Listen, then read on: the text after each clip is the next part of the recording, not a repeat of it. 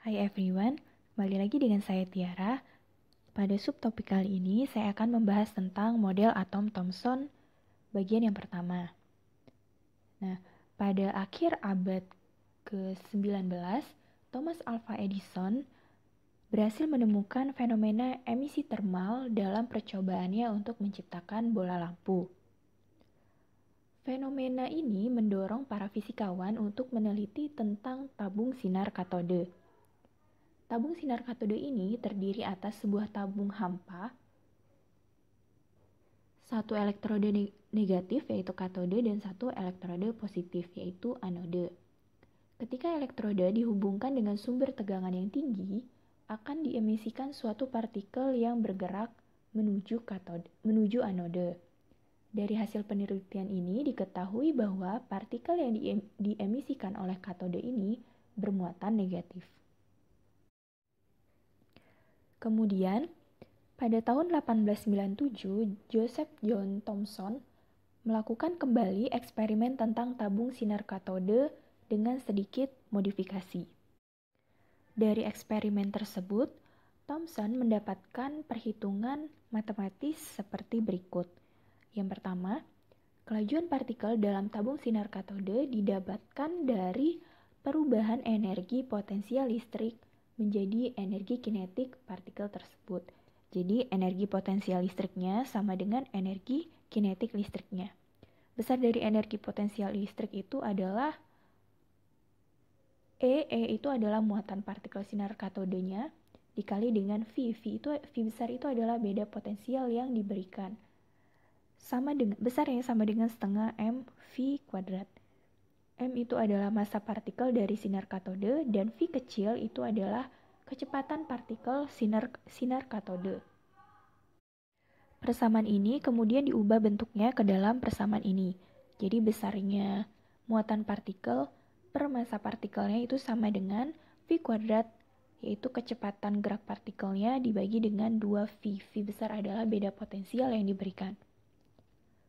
Kemudian, ketika partikel sinar katode tetap bergerak lurus, walaupun diberikan medan listrik E dan medan magnetnya B, berarti besar dari kecepatan gerak partikel pada sinar katode itu besarnya sama dengan medan listriknya yaitu medan listrik E dibagi dengan medan magnet B. Dengan mensubstitusikan persamaan awal yang kita peroleh yaitu persamaan yang ini pada persamaan 1 dan e, maksudnya persamaan dua ini V sama dengan E dikali B, E, e dibagi B, energi listrik dibagi dengan energi, energi magnet, disubstitusikan ke persamaan yang pertama yang kita peroleh pada nomor 1 sehingga dari persamaan ini kita mendapatkan persamaan baru perbandingan antara muatan partikel pada sinar katode per massa partikelnya besarnya sama dengan energi listrik e, medan listrik di pangkat 2 dibagi dengan 2 dikali beda potensial dikalikan dengan medan magnetik B-nya dikuadratkan. Besaran dari E, V besar dan B ini dapat diketahui dari pengukuran sehingga Thomson mendapatkan perbandingan antara muatan dan massa, yaitu E per M ini, pada partikel sinar katode adalah besarnya seperti berikut. 1,75 sekian dikali 10 pangkat 11 coulomb per kilogram.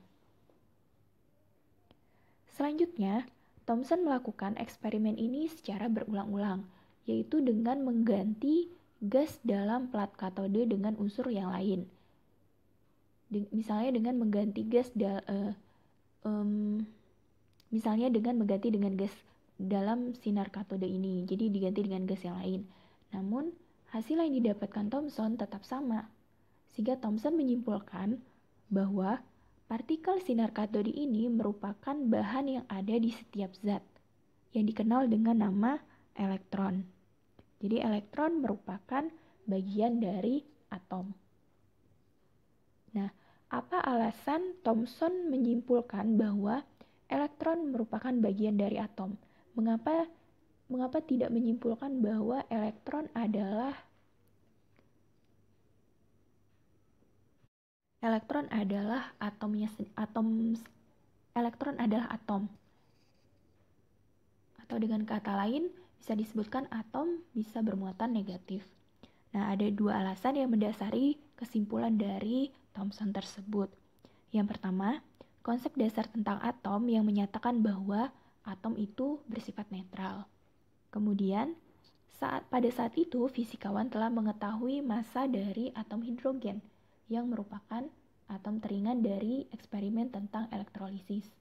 Ternyata nilai perbandingan antara E per M-nya, yaitu perbandingan antara muatan dan massa pada partikelnya itu jauh lebih kecil daripada massa atom hidrogen.